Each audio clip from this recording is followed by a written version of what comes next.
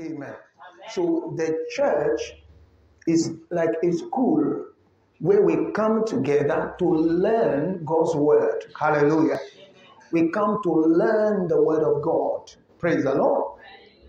And uh, so that we can be strengthened. Amen. We can be edified. Amen. We can really know who we are, what we have, and what belongs to us, what we can do, our possibilities. Amen. Amen.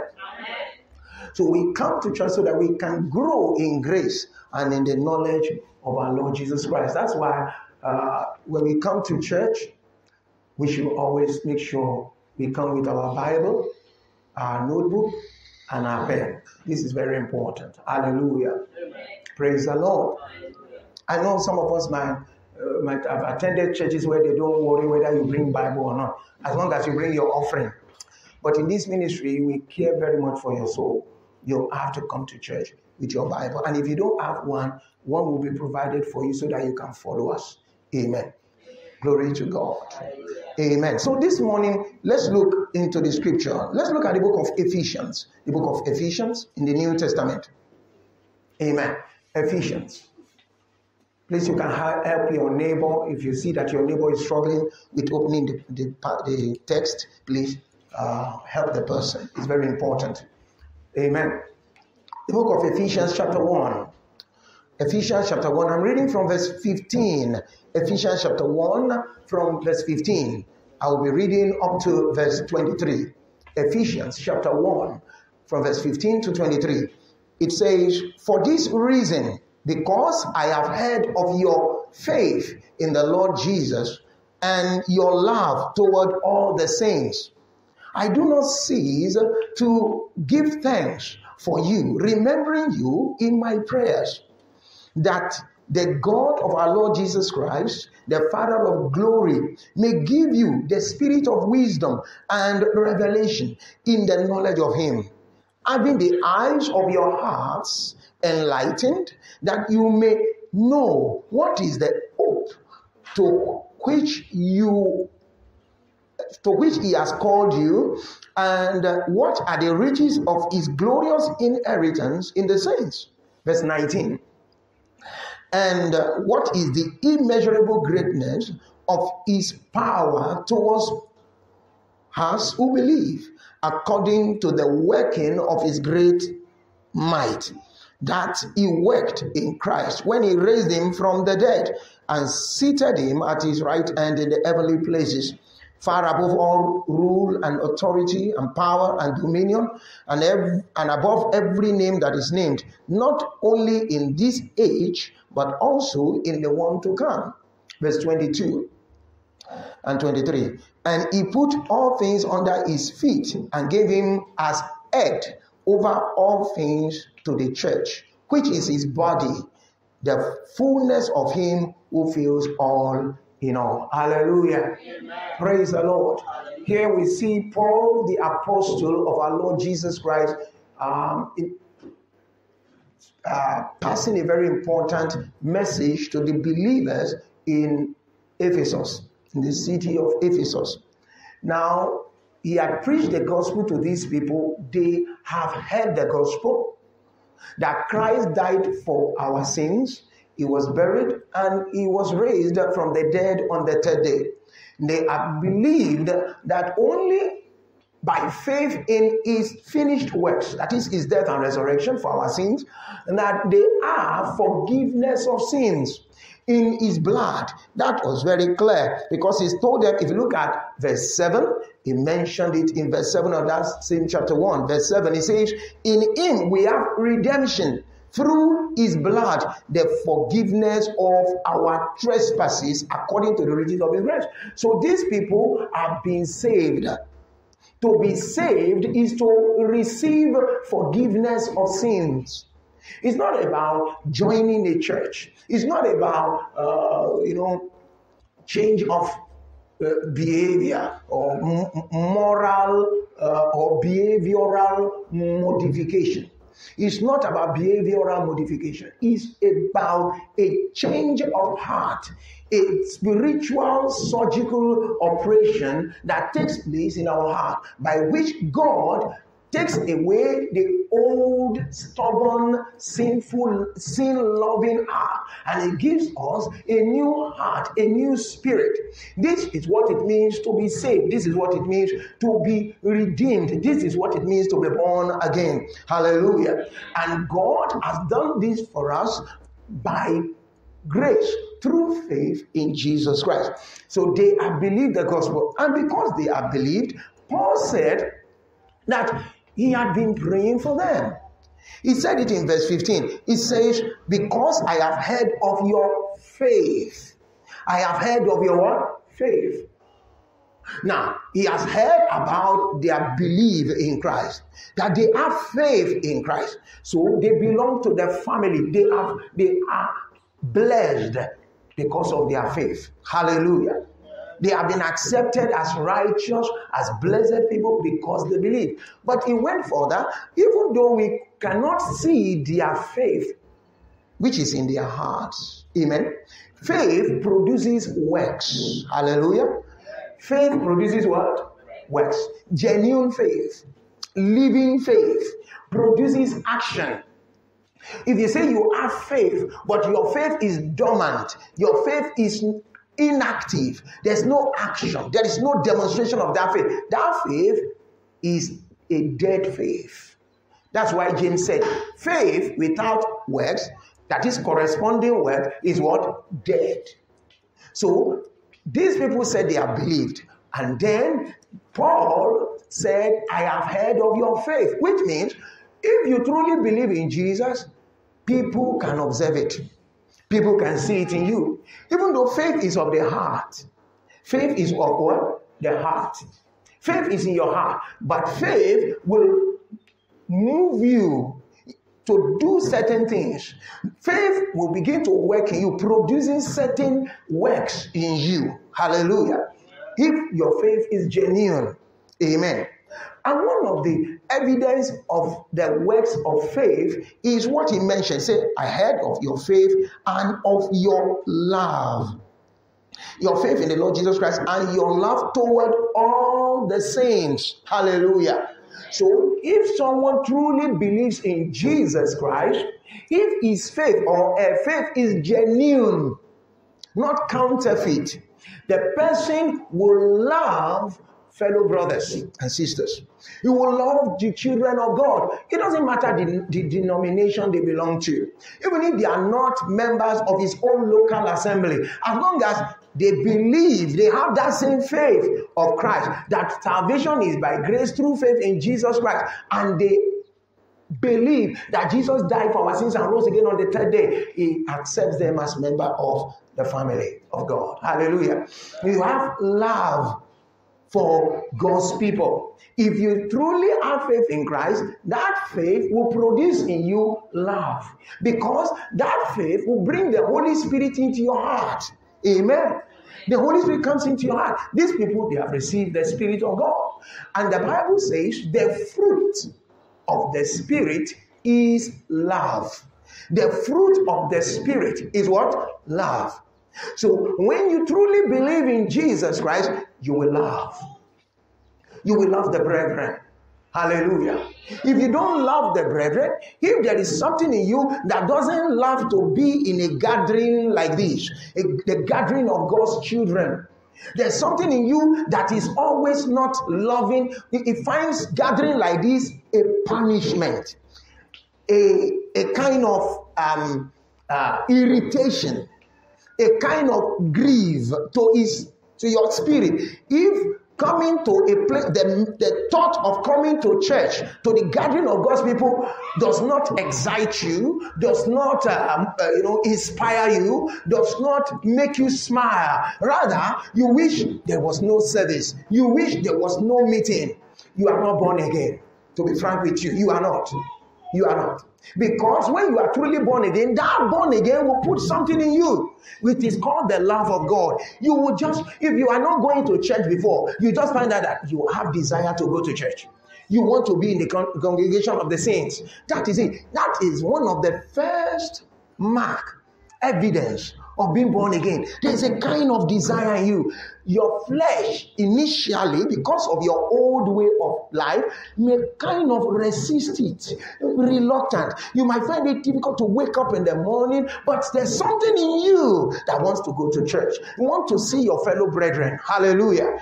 Your faith in the Lord Jesus Christ and your love for all the saints. Hallelujah. You will love the saints, whether they are rich or they are poor, you will love them. Whether they are educated or illiterate, you will love them. Whether they are male or female, whether they are full able bodied or they are handicapped in any way, you will still love them. Hallelujah. Glory to God. So love will be better than you. You will love people. Glory to God. You will love. David said, I was glad when they said to me, Let us go to the house of God. Hallelujah. Jesus said, This is how the world will know that you are my disciples. If you have love one for another. Hallelujah. So, loving the brethren is an important and indispensable evidence of being born again. You will love the brethren. You will love to be in church. So, anyone that finds it difficult, we have to beg you, we have to push you, we have to beg you, we have to draw you to come to church. You are not born again. You are not yet born again. You are close, but you are not there yet. Amen. The moment a person receives this life of Christ, he just wants to be among the saints. He loves it. Hallelujah. Before I got born again, they, uh, you know, there were people who came to invite me to church. I find it very hard. I find, oh, I, I just didn't like to go to church. I didn't want to go to what they are doing there when they force me there, and I heard, and I'm there, I'm I'm swollen. I'm not happy. I'm just like what I heard when they are clapping and singing, I'll just be looking at them. When they are teaching the word of God, it's not, I'm thinking of something else. I just wish that meeting should be over. And the only time I'm happy is when they say we are closing now. I'm awake. Yes, you're about to go home. Good. Good. Then when we say, let's share the grace in fellowship, may the grace of our Lord Jesus Christ, the love of God, ah, that with that one you hear my voice. Yeah, uh, uh, the love of God, yeah, fellowship, amen, amen. I'm gone. Amen. No, nothing. And when I hear that they are not holding fellowship today because of something, I'm very happy. Hallelujah. Very happy. So I, I was glad, I was happy. But when I received Christ, when Christ came to live in me, when I received eternal life, everything changed. Hallelujah. Everything changed. I became a lover of God and of his people. My desire was in the house of God. I became like David, who said, How I wish to be in the house of God all the days of my life. Amen. Before service begins, the, from my house to the church was like what? It was like from here to Azigame, the big market. From my house to the church. I'm telling you, distance. But you know what? I will walk. I will jog. I'll make sure I get to church before 6 p.m. before the service starts. And on Sunday, I'm there. And then I was excited to serve the Lord. When they say, ah, choir, people in the choir, I'm excited to serve. Oh, this one, uh, I'm, in fact, I, I almost uh, uh, was serving in three different departments because I was just excited. I just want to serve the Lord. I want to, you know, that is it. When you are born again, there is that love of God and the love of the brethren in you. Look at the book of John, First John to be precise. First John chapter 5, verse 1. First John chapter 5, verse 1. The book of First John chapter 5. First John chapter 5. First John chapter 5, verse 1. It says, Everyone who believes that Jesus is the Christ has been born of God. That's the first part I want you to know. Look at that. It says, Everyone who believes that Jesus is the Christ, that is the Savior, the Messiah. He said, That person surely has been born of God. That is what it takes to be born again, to believe.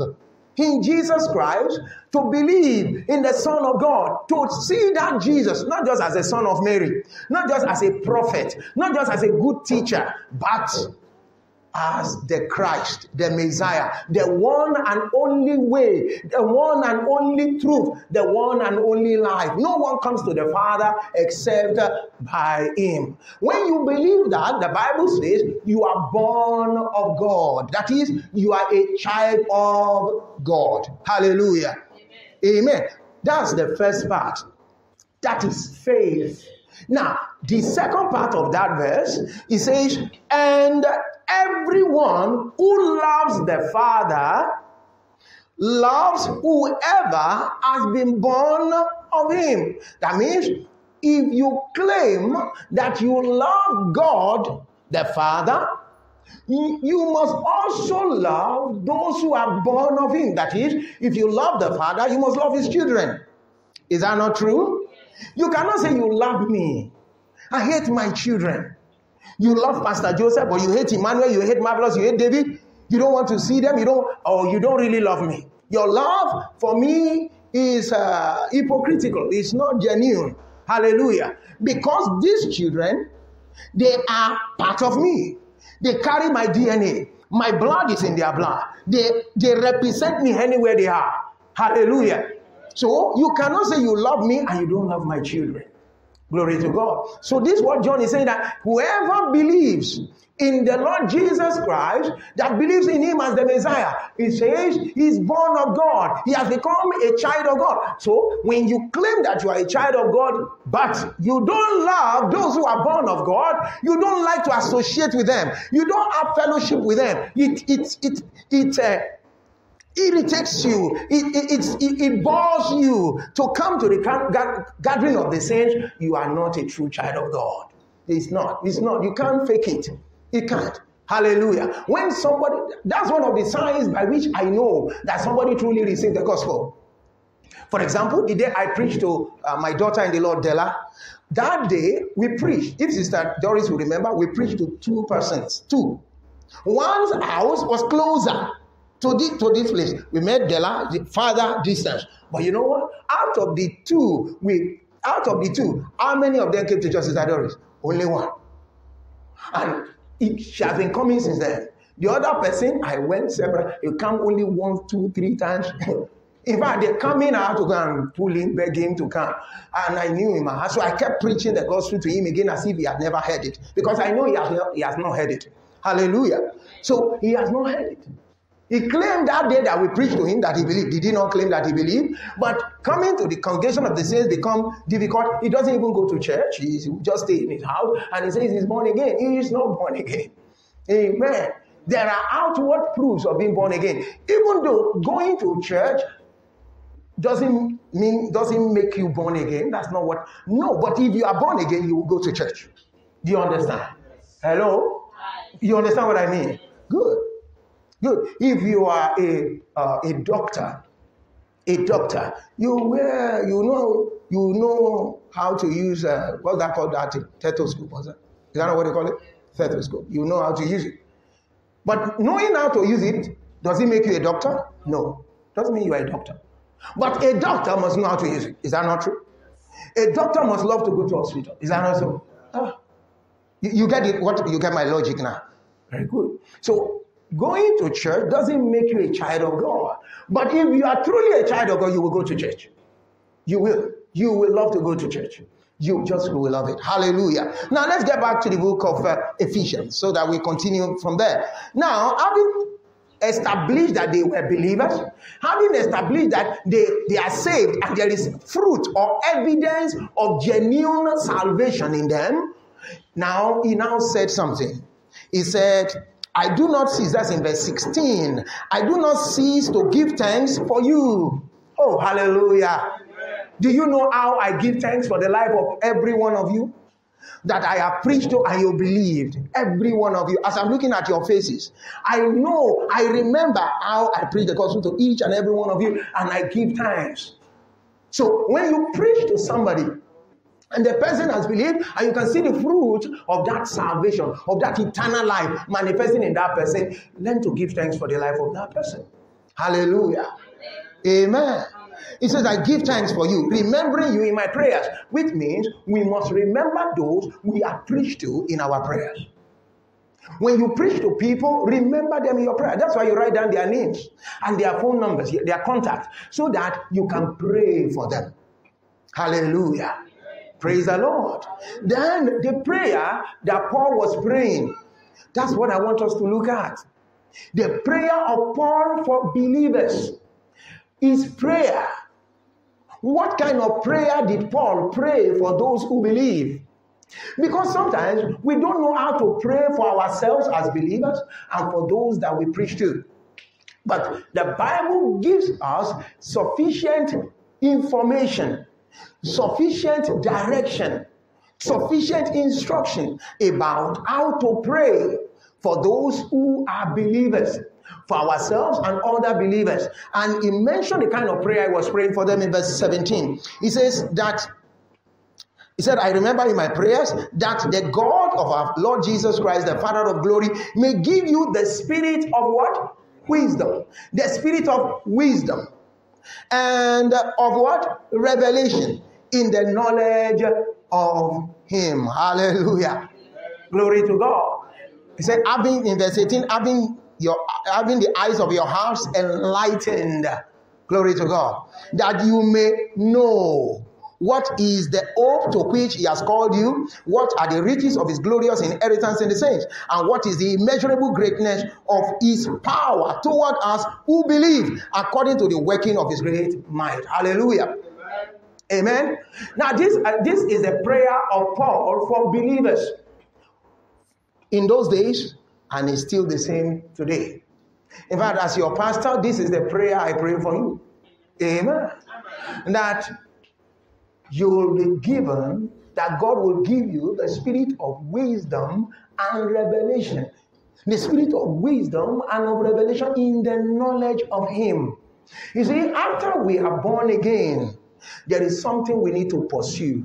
There's something we must go after, and that is knowledge. That is what? Knowledge. Accurate, precise knowledge of God Himself our Father, and of our Lord Jesus Christ. And then, in knowing God and Jesus Christ, we get to know ourselves in Him. Because we are now in Him. So, we, it's not um, knowledge of uh, uh, how witches do meetings in the night. It's not knowledge of how a midnight prayer. That's not what we start learning. We don't start learning about enemy, enemy, enemy, generational curses, ancestral. That's not what we learn. We learn Christ and ourselves in Him. Hallelujah. It is by learning Christ, knowing Christ, that we get to know ourselves in Him. We know who we are. Then that, that is what produces true genuine, lasting spiritual growth. Hallelujah. Glory to God. The kind of food that you eat will determine how healthy your growth will be. I believe you understand. That's why we were taught balanced diet at school. Were we not taught? You know the, the, the uh, essential uh, food, uh, food that we should eat is that also how we should eat carbohydrate, protein, fat, and oil, and all the rest of them?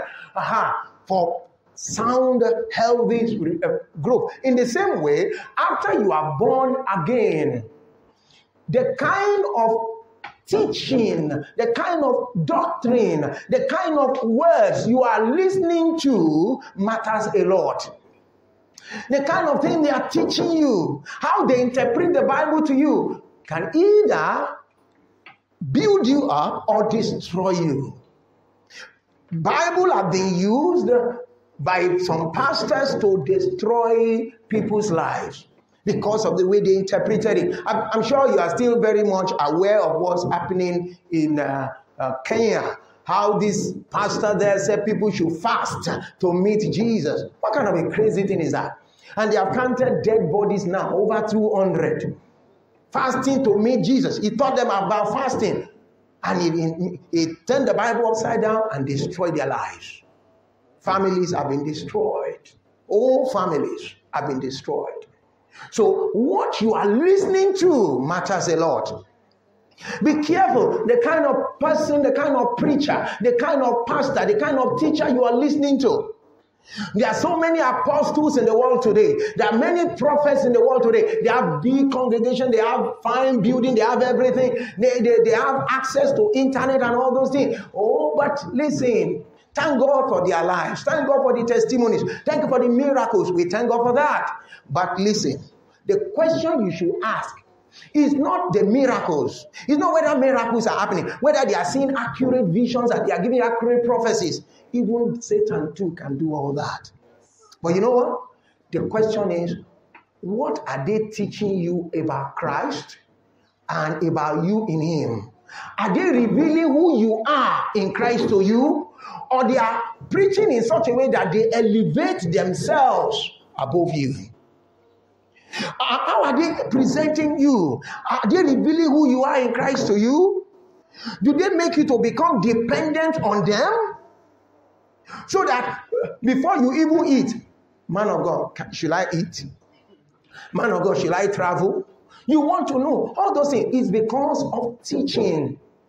How you are taught, how the Bible is interpreted. And we need accurate knowledge. And that's why the best thing after being born again, the best thing you can have is a good pastor who will teach you the word of truth. Amen. Amen. God said to the children of Israel, I will give you shepherds according to my heart, pastors according to my heart, who will feed you with knowledge and understanding. Hallelujah. Amen. Very, very important. I, I, was in a, I was on a, uh, an in, uh, you know, internet call with a sister yesterday in the US, and we were talking.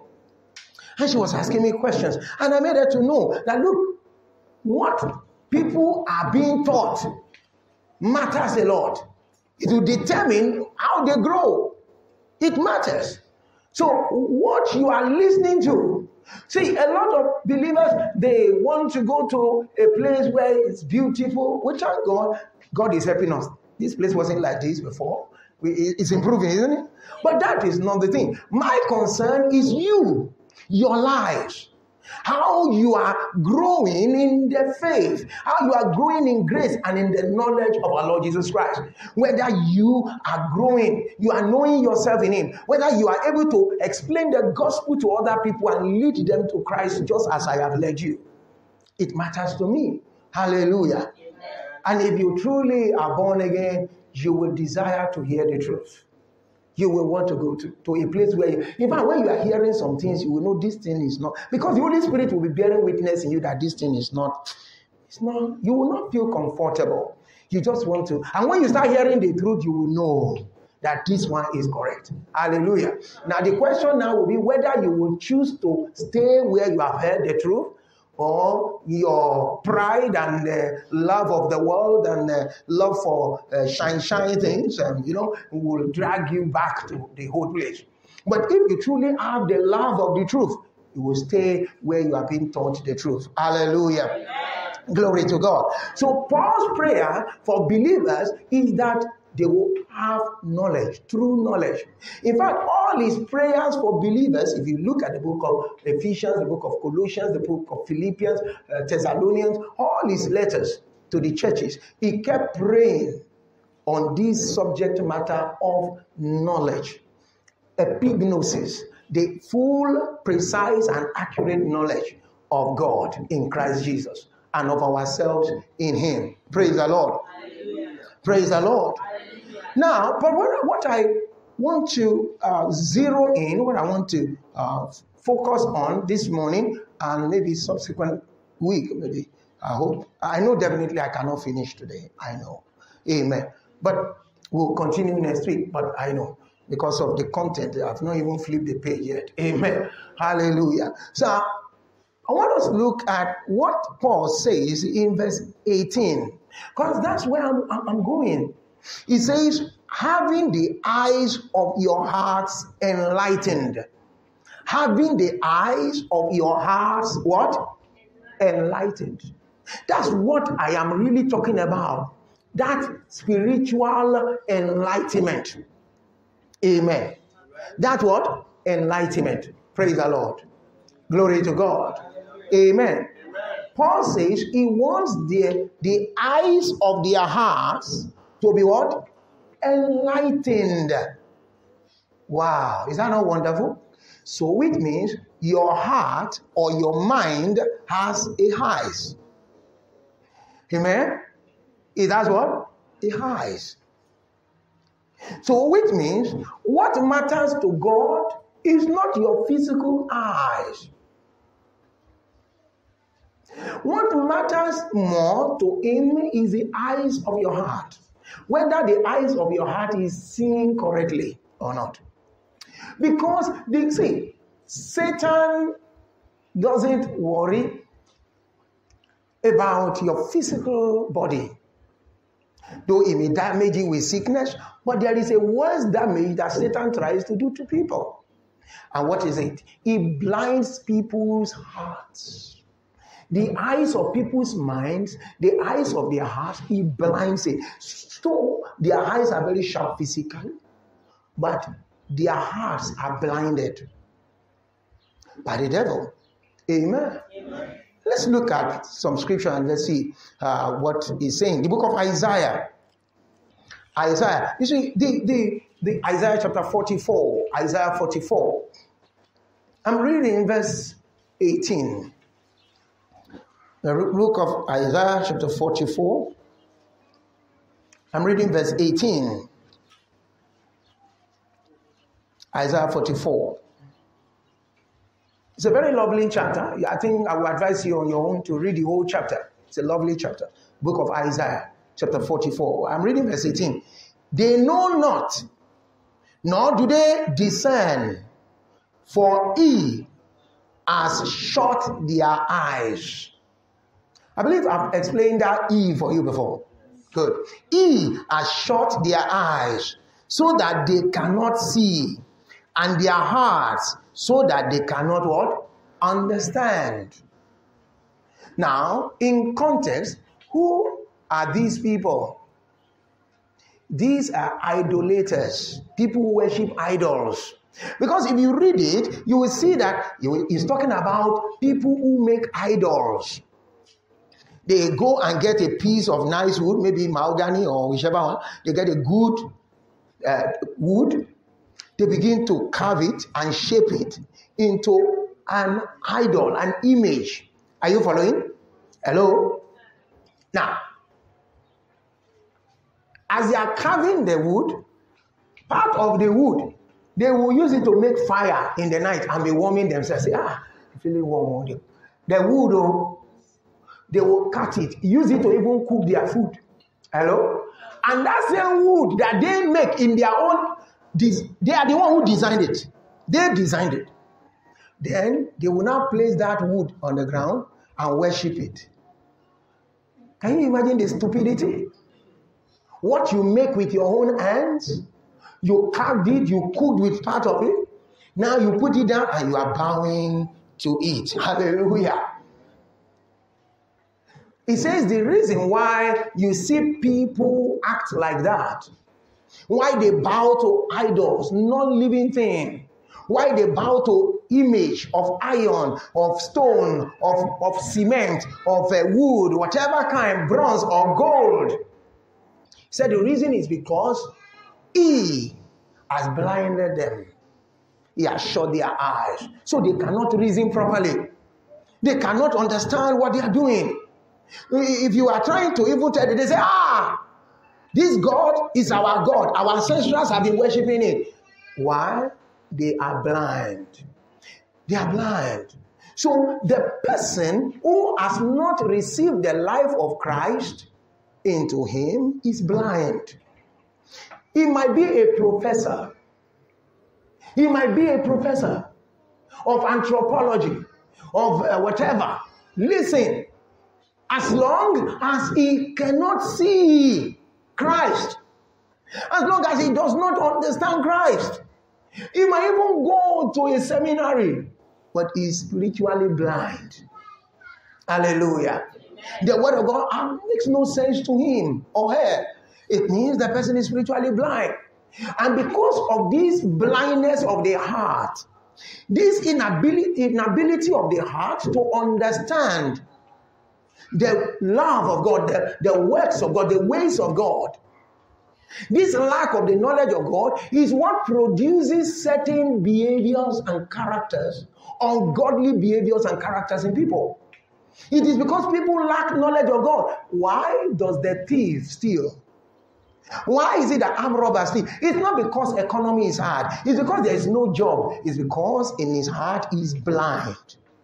Why do you have little young ladies who go about flirting with boys? Or they will say they might tell you excuse and say, "Oh, it's because uh, I don't have anybody to help me, and uh, you see, I need money, and that's why I'm flirting around." Listen, it's not because there's no money; it's because she's blind spiritually. The heart is blind. That's why uh, the devil has deceived her.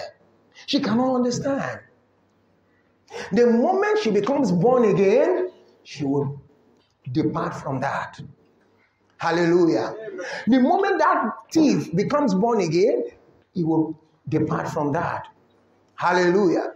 So, that darkness of the heart, you know, when someone is blind, what does he see? Is it not darkness? So, the darkness of the heart is manifesting in people as sin, actions of sin. But the moment you believe in Jesus Christ, the light of God comes to your heart. Hallelujah. You are born again. Glory to God. So look at the book of Acts of the Apostle, chapter 26. Acts chapter 26. Acts of the Apostles, chapter 26. Acts, the book of Acts of the Apostles, chapter 26, so that you understand what I'm saying. We are looking at verse 18, the book of Acts of the Apostles, chapter 26. Acts of the Apostles, chapter 26. The book of Acts of the Apostles, chapter 26. Now let's look at verse 18. Verse 18. Are you there? Acts of the Apostles, chapter 26, verse 18. Now, Paul the apostle was giving testimony before King Agrippa and others, and he was telling them about how he encountered Christ, and then how Christ commissioned him to uh, the well, the ministry of the gospel. Now, this is a statement of commission by the Lord Jesus Christ. This is a statement of his commission by the Lord Jesus Christ. He says, Jesus said, I am sending you to both Jews and Gentiles. Verse 18 now, he says, to open their eyes. Did you see that? He said, I'm sending you to do what? Open. Now, but when Paul gets there, do you think he will see people who are blind who are groping around? No. But Jesus said, I'm sending you to go and do what? Open their eyes. Which means they are what? Blind. Though they are walking around, but they are blind. Amen.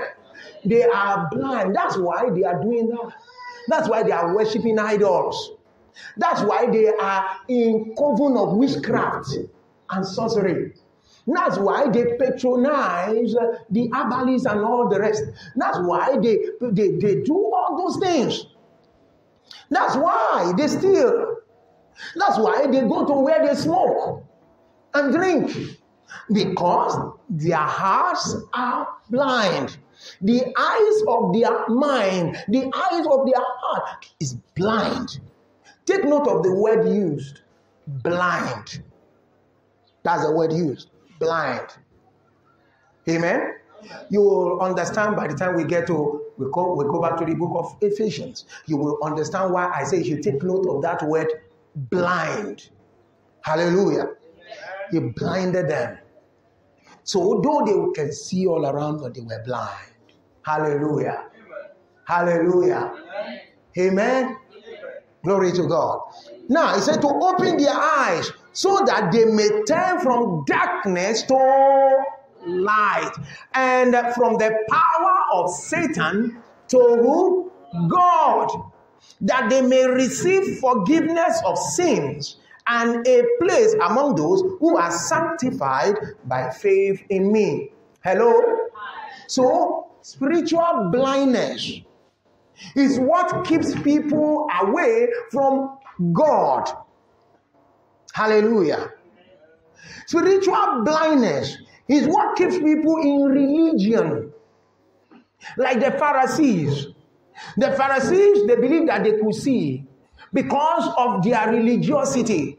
But Jesus told them in John chapter 9, He said, You are blind. He told them, Say, You are blind. You cannot see. You think you can see, but you are not seeing. You are blind. Hallelujah. Amen. Hello. If you see what is going on in the world today, if you know what is going on in America and Europe, all these LGBT nonsense that people are talking about, hello, is because of what? Blindness of the heart. It's blindness. It's blindness of the heart. We love people, but we do not approve of their behavior. Amen. Just as Christ loves sinners, but he does not approve of sin. In the same way, if I see an LGBTQ person, a lesbian or a, an homosexual today, I will love that person. Or I will, I will shake the person, I will embrace the person. Or I will eat and drink with the person. I know he's blind. And my goal is to open his eyes, to open their eyes, because all the lies that Satan has pumped into their hearts that uh, a, male can mistakenly fall into the body of a female, or a female can fall into, then you need trans uh, transgender surgery and all those things. It's just foolishness. How professor of anthropology cannot define the difference between a male and a female? It's clear. What is simple biology? Simple science. Male, female. Now define female. You cannot. Define male. You are, you are not, we are now confused. And we are now confusing our children. And now telling children, now telling parents, you cannot tell your child, your own child, that he is a male or female. It's, it now become a crime to tell your child that you are a male because of your physiology. You are a female because of your physiology. In our point, we, are, we twist their brain, we brainwash them. All those things. That's what is happening. Why is that happening to America and Europe? Why is this thing becoming, why they are doing this gay thing? Why? It's because of what? Spiritual blindness. Satan has blinded their minds. Satan has blinded the eyes of their minds. So they reject the truth. They reject Christ. They oppose the Bible. They oppose the scripture. And that is why they go deeper and deeper and deeper into sin, into that kind of life. Paul the apostle mentioned in the book of Romans chapter 1.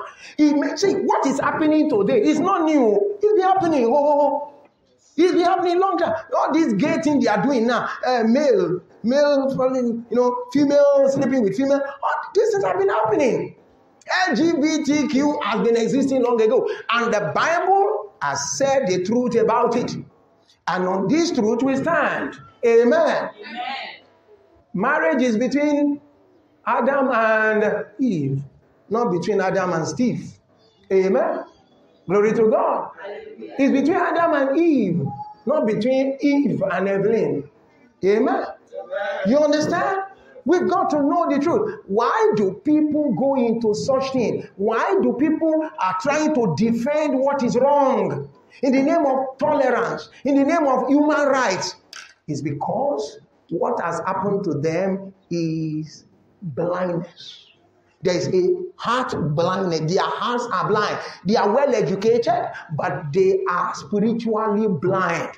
And that's why when some of them become born again, when some of them receive the gospel, they receive Christ, they come out of it.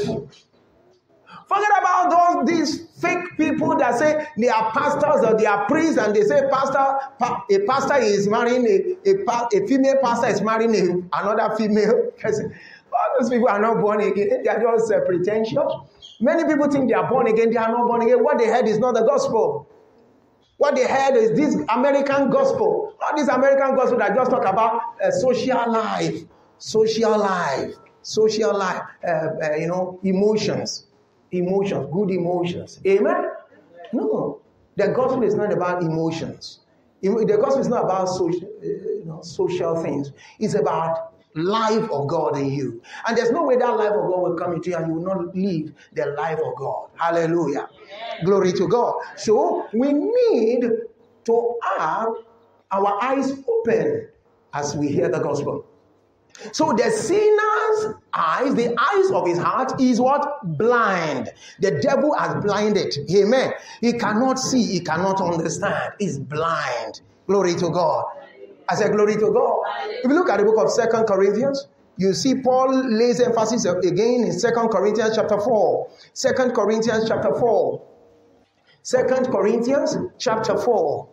Second Corinthians chapter 4. I'm reading verse 3, verses 3 and 4. The book of Second Corinthians. Second Corinthians chapter 4, verses 3 and 4.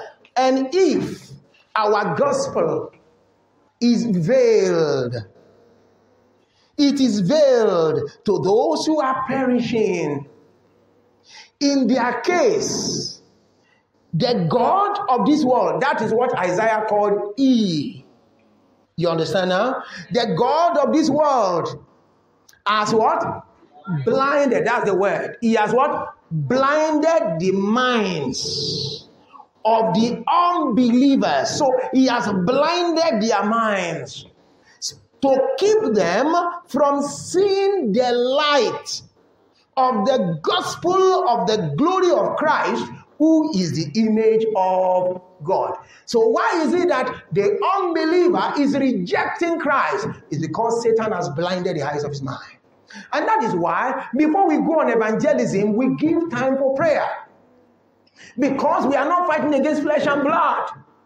We've got to pray and take authority over the powers assigned by the devil against every individual person we are meeting.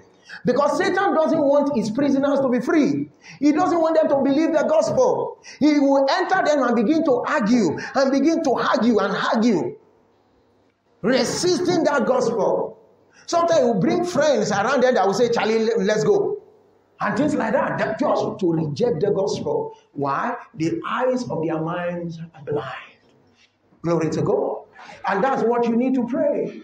You have a relative that is not born again. You have been trying to bring that person to church. Pray. Start praying, God, open the eyes of this person. Let the eyes of this person be open. When you are saying let the eyes be open, you are not talking about this one. You are talking about the heart. Hallelujah. Because until that heart is open, until the, heart, the eyes of the heart is open, he cannot really understand what you are saying. Glory to God. Amen. Is somebody getting it? Are you with me this morning? I said, Are you with me this morning? I hope your eyes are open. But if your eyes have not been opened, it will be open this morning. I said to be open this morning. It's not by prayer. This one is not prayer where we say, blind eye, that's not. This one doesn't open by prayer. It opens by the hearing of the gospel, as we are hearing that Christ died for our sins, he was buried, and he was, he was raised on the third day. The moment you believe in Christ, the eyes of your heart are opened. Hallelujah. Now you are no more blind. Amen. Amen. So the believer in Christ is not spiritually blind. So if you are born again, you can say it with me I am not spiritually blind.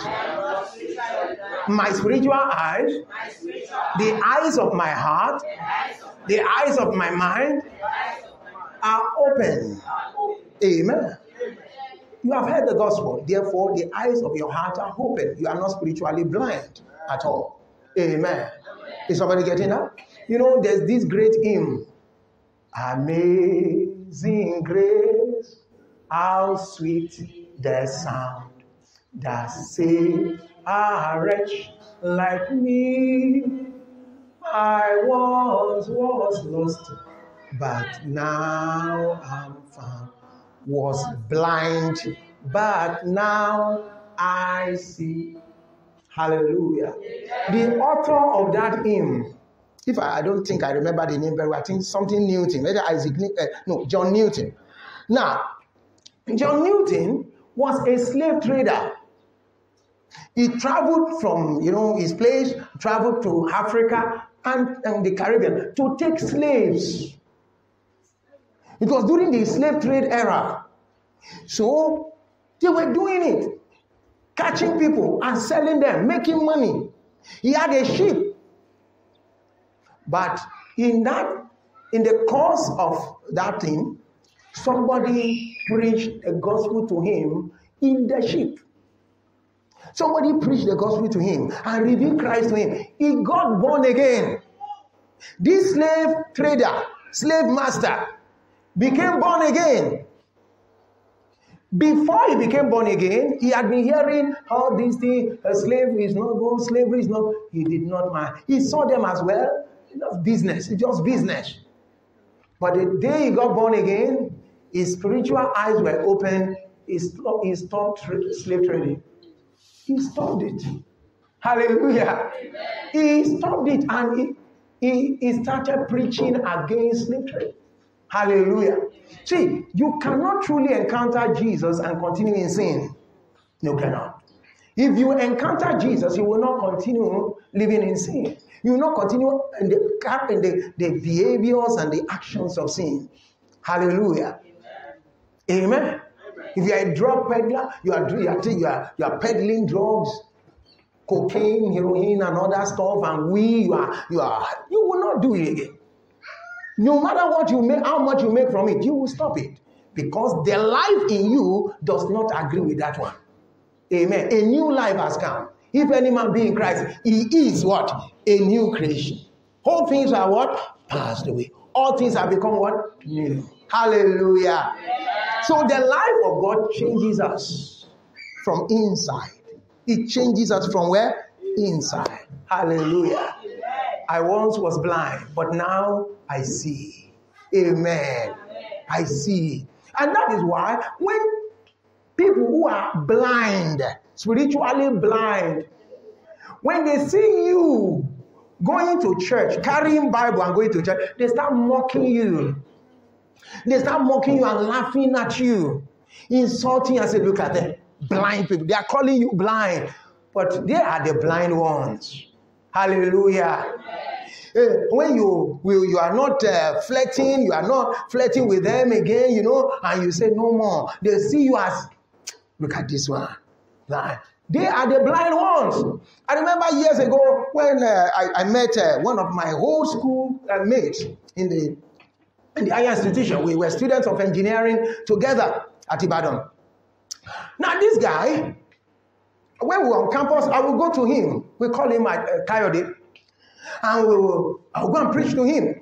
I'll go to his room. Oh, Kayode, let's go. I'll preach Christ to him, invite him to, to fellowships, campus fellowship. He, he will tell me, oh, Ajao, I don't have time now. Uh, come, come tomorrow. I will go. Next, when is your next fellowship day? I'll say, I will mention. Say, I will, I will follow you next time, but not today. Sometimes I will meet his girlfriend, will be with him on the bed, and he will say, No, no, no, I can't. You see, I have a, I have, I have, a guest. That was how was it. He and some other people, they looked at me and my fellow believers as blind people. These people are blind. Oh, religion is too much for them. Huh? You come to campus, you cannot enjoy life. They are really enjoying. Oh, they was really enjoying life. Girls, you meet this girl today, you meet another girl tomorrow. That was the life he was living. His room was, you know, packaged for girls. His camp, you know, hostel room was packaged. Oh, we were just on the floor. He brought rug, decorated the room. The walls are decorated. He had a small table uh, fridge, everything for his. Oh, he, he and the room is always scented. Oh my God! All for girls, and he would lie at home to his mom and collect money just to sponsor his flirtatious life his promiscuous life.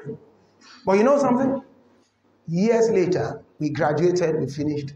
I was tra- I traveled to Ibadan and I got to a, a uh, ring road area, ring road. And then somebody called me, say Ajao, and I said, Who is that? It was this same guy, Kayode. He was standing at the bus stop. And uh, he looked at me, say Ajao, the way he greeted me, cry, showed me that something has changed. Because this is a guy who doesn't want to even see me. Oh, please, I don't want that. Oh, But this day, he embraced me. He embraced me. Embraced me. Ajao, ajao, ajao. I said, oh, Kayode, how are you? Long time. Oh, how are you? Said, the very first thing he told me, I'm born again, no. I'm born again. Which I'm born again now. I said, true? He said, yes. He said, I'm born again now. I'm born again now. And I said, Oh, what happened? Then he explained how he got born again to me. Then he said something. He said, Oh, how I wish I knew Christ that time you came preaching to me. He said, That time, I thought you were blind. I didn't know that I was the blind one. That's what he told me. He said, I thought I, I was the seeing one that you guys were blind. But now I know that, oh no, I was the blind one. Hallelujah. Amen. Later I came to my house and I met my wife and saw my wife and was greeting and said, Oh, your, your husband is a wonderful man. Amen. He used to preach to us on campus and he's still serving the Lord today. Amen. He's a member of the Winners Chapel in Nigeria and he's, that's Winners International and he's doing well, serving the Lord. Hallelujah. Amen. Amen. See, people are blind. That's why they don't see. So when people are Forget about their education. Forget about their financial status. Forget about their position in the place where you work. It may even be your manager, it may be your director, but he's blind. He's blind. You need to pray for the person. Don't hate him. Don't hate her. Oh, the action of that woman or that man towards you, the persecution, the way it's persecuting you, insulting you. Oh, it's because he or she is what? blind. Don't forget that Paul, who wrote this epistle, he used to be blind. You remember? That he was a persecutor of the church. He killed Stephen. Do you remember? You know, he killed a lot of believers. He was even traveling around arresting believers, forcing them to blaspheme. He was doing terrible things. And he thought that he was the seeing one until the day he encountered Christ on the road to Damascus. And there he saw the living Christ. There he saw the light. Hallelujah. He saw the light. Glory to God. And that day his eyes were what? Open. And he saw Christ. Until a man sees Jesus, he's blind. Until a man receives eternal life, he's still blind. And that's why you will not blame him or her for the way they talk, the way they dress, the way they do things. Hallelujah. Amen. But now that our eyes have been opened, now the believer's eye is open. Paul is now saying in Ephesians chapter 1, verse 18, he said, I am praying that the eyes of your heart the eyes of your heart might be what? Enlightened. Now, there's difference between blindness and enlightenment. There's a big difference between the two. He did not say, I am praying that your eyes be open. Did he say that? Did he say, I'm praying that your eyes be open? So, I don't pray that your eyes be open. But Paul said, I pray that your eye be what? enlightened. So the believer needs enlightenment. He needs illumination. The Greek word, the Greek word that is translated enlightened is the word photizo. Photizo. Photizo means to be flooded with light. To be what? Flooded. Like you are in a dark room, a dark room. The light is turned on. Now you can see. Now there's a big difference between a blind person and a seeing person who are inside a dark room. Hello? This person is blind, the other person is not blind. But both of them are inside a dark room. You know what they call a dark room? Thick, dark room. You understand? The one that the photographers use. Really dark room. Uh-huh. Now, initially, both of them are equal. Is that not? Both of them cannot see anything inside that room. Is that not so? But when you turn on the light, you will now see the difference. Hello? The difference is that even after light has been turned on, the blind man cannot see that light. Is that true? He cannot. But the one who can see, who is not blind, now will have the benefit of light. He will now know that, oh, there is. Uh, uh, milk here, there is uh, bread here, or there is uh, food here, there is this here. So he can go for it without pulling things down, scattering things. He can he can say, okay, I want to take sardine, and he'll go for it directly. The blind man cannot do that. He's blind. Hallelujah. So you are not blind in Christ. You can see. I want to say, I can see. I can see. Because my eyes have been opened by the hearing of the gospel. I can see. Amen. So when we come next week, I will take it off from there. So that we will see what it means to be enlightened. And if you go to that Ephesians, please go back there. I want to show something. Part of what I'll be explaining when we come next Sunday. When we come next Sunday, I will be explaining um, something because I jumped something and I, I think I should, I, should, I should take it, but I will take it next Sunday. Amen. Hello? That's um, what Paul the Apostle said in verse 17. Uh, he said that God may give you the spirit of wisdom and of revelation. What is the meaning of the spirit of wisdom and the spirit of revelation? Because he mentioned the spirit of wisdom and of revelation. That means the spirit of wisdom and the spirit of revelation. What are these? What, what does it mean? Hallelujah. What is what's meaning? What is he really saying? What is Paul saying? Hallelujah. Because Paul said that these people have received the Holy Spirit. So we want to know what does he now mean? So are we to pray and ask for uh, the spirit of wisdom? So spirit of wisdom, spirit of revelation, come upon me. Now we are going to know what he meant by that. Hallelujah. Praise the Lord. That will be part of what we are going to, I'm going to explain when we come next Sunday. Hallelujah. But what I want you to understand this morning is that the believer, the believer's eyes are open. The unbeliever's eyes are what? Blind. And in fact, they have been blinded. By who? Is it God? No. The God of this age, Satan, the enemy of man, has blinded their minds. Now, does ac- academic excellence, education, you know, does it open people's eyes? No. The person must hear the gospel. Education, university education is good. Yes, university education is good. You should get the best of all education you can get. But listen, education does not open people's hearts. What opens people's heart is the hearing of the gospel. And that's why Jesus said, Go into all the world and preach the gospel to every creation. Hallelujah. Praise the Lord.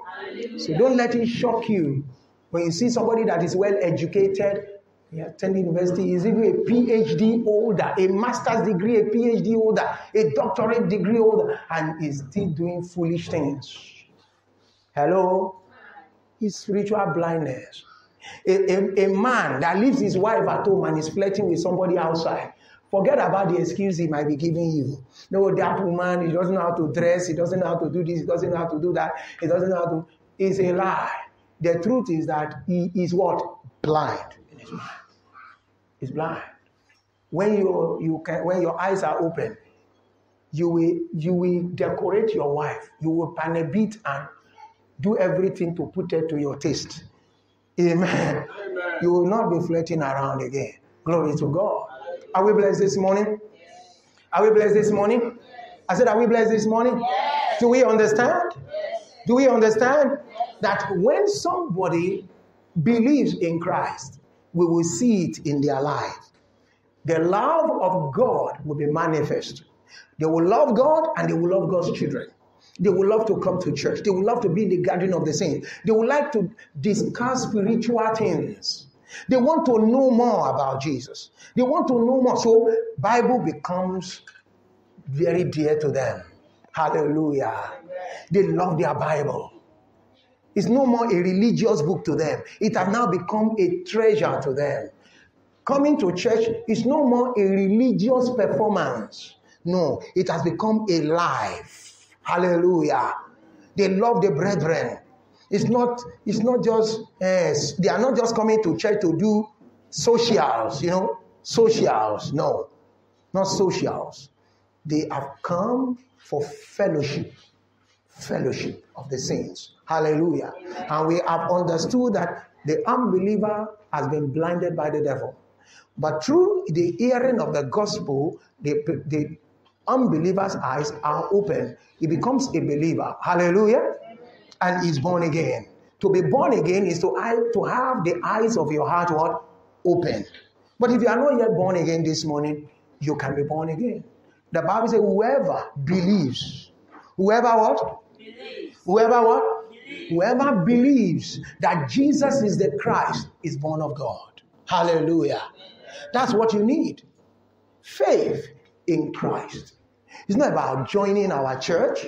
It's not about getting a Bible. It's not about, uh, you know, about giving. No. It's about receiving Christ, receiving Him into your heart.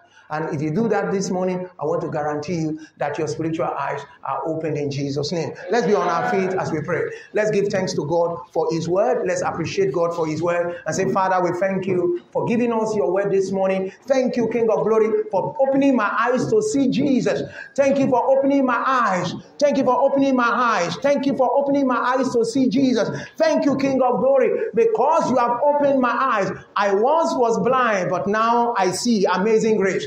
Amazing grace, how sweet the sound that saved a wretch like me. I once was lost, but now I'm found. Was blind, but now I see. Can you see? Can you see? Can you see? If you are not seeing yet, if you're if there's no love of God in you, you still find it hard. You find it as if you are you are being punished to come to church. My brother, my sister, you need to check yourself and receive and open yourself up to Christ and say, Lord, come into my heart. Come into my heart. Come and pour your love into my heart by the Holy Spirit this morning. Pray in the name of Jesus. Pray in the name of Jesus. And I want you to pray for your friends. Pray for your friends. Pray for your family. Pray for your siblings. Pray for your, your wife. Pray for your husband. Pray for your children who are spiritually blind. They are not born again. Oh, pray. You have been trying to pull them to church, pull them to church. Your own eyes are open, but uh, those ones, they are still finding it hard. They still give excuses. I want you to pray that the power of the God of this age upon their life be broken, that they will come to the knowledge of Jesus Christ, that the light of God will shine into their their heart. The, the power of the devil, the veil of Satan be taken away from them. Pray in the name of Jesus. Pray in the name of Jesus.